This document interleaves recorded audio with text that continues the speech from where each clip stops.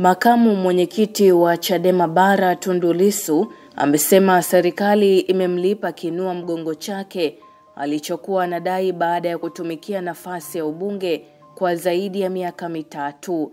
Lisu alivuliwa ubunge Juni 28 mwaka 2019 kutokana na sababu mbalimbali ikiwemo ya kutojaza taarifa za mali na madeni na kutokutoa taarifa kwa spika mahali alipo. Wakati anavuliwa ubunge, mwanasiasa huyo alikuwa Ubelgiji akiendelea na matibabu baada ya kupigwa risasi 16 na watu wasiojulikana akiwa katika makazi yake Dodoma Septemba 2017.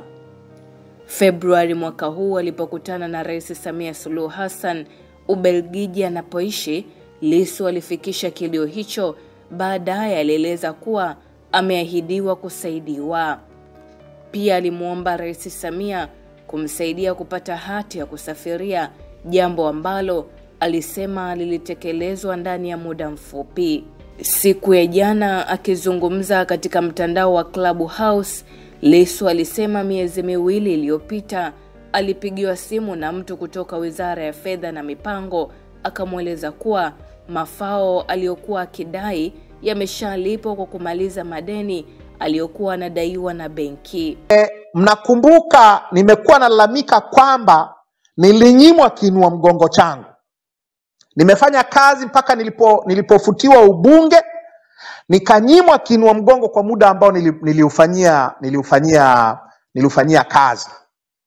E, katikati hapa kama miezi miezi miwili iliyopita nimepigiwa simu na mtu wa, wa, wa Wizara ya Fedha akaniambia, mweshimiwa lisu tuna tumelipa madeni yako. Nilikuwa na madeni, nilikopa ma, nani, nilikopa mabenki benki mbili. In fact nilishtakiwa na na, na benki mojawapo kwa kushindwa kulipa eh, eh, kulipa mkopo kwa sababu eh, mkopo wangu ulikuwa una, unalipwa kupitia mshahara wangu wa bunge, na nilipoondolewa bungeni na nikanyimwa gratuity, zile pesa hazikulipwa, nikapelekwa mahakamani na nani na, na, na, na, na benki eh, huyu bwana wa wizara ya fedha alinipigia simu kuniambia kwamba tumekulipia madeni yako yote kutokana na kiinua mgongo chako. Kwa hiyo na hilo la kiinua mgongo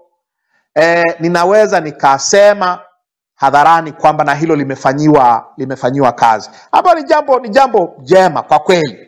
Na hivyo ndivyo alivyosema Tundu Lissu kupitia Clubhouse. Mimi ni Ana Mbawala. Kwa update zaidi, unaweza kufuatilia kupitia mitandao yetu mbalimbali mbali ya kijamii ikiwemo Instagram na Facebook.